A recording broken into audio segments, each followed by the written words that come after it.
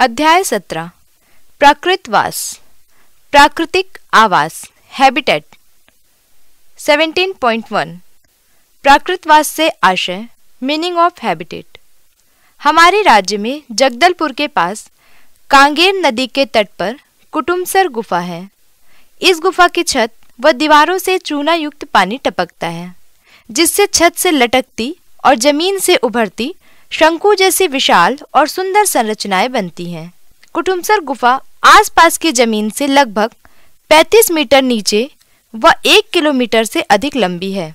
गुफा में इतना अंधेरा है कि यदि हाथ में पकड़ी टॉर्च को बंद कर दें तो एक कदम भी आगे चलना मुश्किल हो जाता है। गुफा में ऑक्सीजन की मात्रा बाहर की तुलना में कम है। इन परिस्थितियों के बावजूद यहाँ कई प्रकार के जीव पाए जाते हैं। उदाहरण के लिए चमगादड़, कीड़े मकोड़े मिलीपीड्स बैक्टीरिया आदि। कुटुमसर गुफा का तापमान साल भर 25 डिग्री सेंटीग्रेड से 32 डिग्री सेंटीग्रेड के बीच रहता है। यहाँ के पानी का तापमान लगभग 22 डिग्री सेंटीग्रेड से 30 डिग्री सेंटीग्रेड के बीच रहता है। इसका अर्थ यह है कि गुफा व अंदर के पानी के तापमान में अधिक अंतर नहीं होता। बरसात के मौसम में यहाँ प्रायः बाढ़ आ जाती है। गुफा में मछली की एक ऐसी जाति है, जो लगभग अंधी है। इसकी आँखें बहुत ही छोटी है। इसकी लंबाई दो से चार सेंटीमीटर है।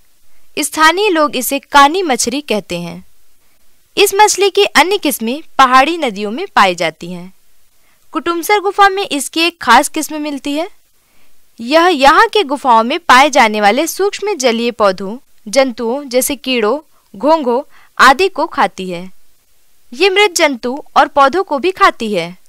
अतः यह स्केवेंजर या अपमार्जक की भूमिका भी निभाती है। ये मछलियाँ अक्सर मिट्टी के नीचे अपना समय बिताती हैं व पानी में सांस लेती हैं।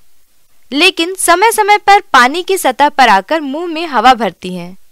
ये अपना संपूर्ण जीवन काल इसी गुफा में बिताती हैं। यही प्रजनन करती हैं और यही मर जाती हैं। इस प्रकार हम कह सकते हैं कि कुटुमसर गुफा का पानी इन मछलियों की आबादी का प्राकृतवास है। यहाँ कुटुमसर के गुफाओं की किन विशेषताओं की बात की गई है? यदि बाढ़ के साथ ये कानी मछलियाँ गुफा से बाहर चली जाएँ, तो कैसे जीवित रहती होंगी? ये मछलियाँ अन्य मछलियों से कैसे भिन्न हैं? कुटुमसर गुफा में जैविक कारक कानी मछली और अन्य जीव हैं। वहाँ का तापमान चूनी युक्त दीवारें पानी और प्रकाश इत्यादि अजैविक कारक हैं। अतः किसी भी पर्यावरण में रहने योग्य सुरक्षित स्थान, तापमान, पानी व हवा इत्यादि वहाँ के अजैविक कारक होते हैं। तथा वहाँ पर भोजन की उपलब्धता व विभिन्न प्रजातियों की उपस्थिति आदि जैविक कारक होते हैं। किसी भी प्राकृतवास के अजैविक व जैविक कारक वहाँ के जीवों को विभिन्न तरीकों से प्रभावित करते हैं।